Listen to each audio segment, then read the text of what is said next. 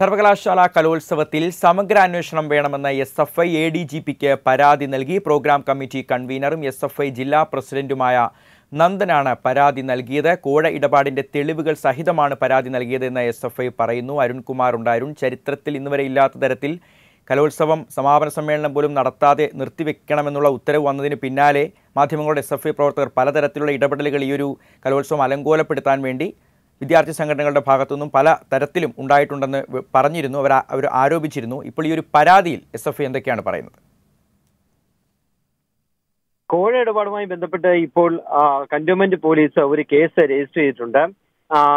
പരിശീലകരെയും അതുപോലെ തന്നെ ചില ഇടനിലക്കാരെയും ഉൾപ്പെടെ പോലീസ് കസ്റ്റഡി എടുക്കുകയും അവർക്ക് നോട്ടീസ് നൽകി വിട്ടയക്കുകയും ചെയ്തു. അവരെ നാളെ ചോദ്യം ചെയ്യാനിരിക്കുകയാണ് എസ് എഫ് ഐ സമഗ്ര അന്വേഷണം ആവശ്യപ്പെട്ടുകൊണ്ട് ക്രമസമാധാന ചുമതലയുള്ള A D G P M R Ajith കുമാറിന് പരാതി നൽകിയത്. തിരുവനന്തപുരം എസ് എഫ് തിരുവനന്തപുരം ജില്ലാ പ്രസിഡന്റും പ്രോഗ്രാം കമ്മിറ്റി കൺവീനറുമായിരുന്ന നന്ദനാണ് പരാതി നൽകിയിരിക്കുന്നത്. ഈ പരാതിയിൽ പറയുന്നത് വ്യക്തിപരമായി ഈ സംഘാടകർക്കെതിരെ ഉൾപ്പെടെ ആക്ഷേപം ഉയർന്ന സാഹചര്യത്തിലാണ് അതിന്റെ സത്യം പുറത്തു വരാൻ സമഗ്രമായ അന്വേഷണം വേണമെന്ന് ആവശ്യപ്പെട്ടുള്ളത്. ചില സ്ക്രീൻഷോട്ടുകൾ അതായത് ഈ മത്സരാർത്ഥികളെ തിരിച്ചറിയാൻ കഴിയുന്ന വിധം ഈ മത്സരം തുടങ്ങുന്നതിന് മുമ്പ് തന്നെ ചില ജഡ്ജസിനെ ചില സൂചനകൾ അയച്ചു കൊടുത്തതുമായി ബന്ധപ്പെട്ട സ്ക്രീൻഷോട്ടുകൾ പണമിടപാട് തെളിയിക്കുന്ന ചില രേഖകൾ വോയിസ് ക്ലിപ്പുകൾ എന്നിവ ഉൾപ്പെടെയാണ് എ ഡി ജി പിക്ക് ഈ പരാതിക്ക് ഉൾപ്പെടെ കൈമാറിയിരിക്കുന്നത്.